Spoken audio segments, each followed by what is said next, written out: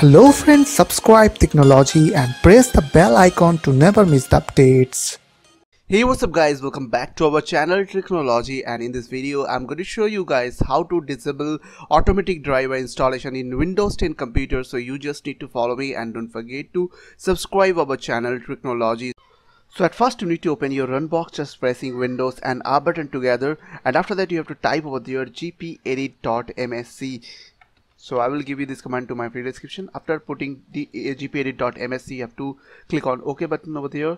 Now you can see on under com computer configuration there was uh, one option is called administrative template so you have to expand that option. After that expand the system. And now you will get one option like driver installation. So here is the driver installation so now on the right side corner you will get one option. Is called turn off windows uh, update device driver search form. So you have to right click over there and click on edit or you can double click over there.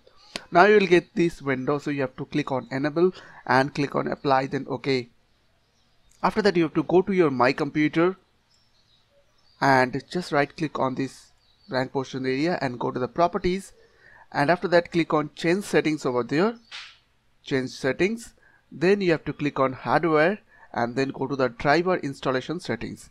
You have to click on no over there and click on save changes and click on ok. So it's done.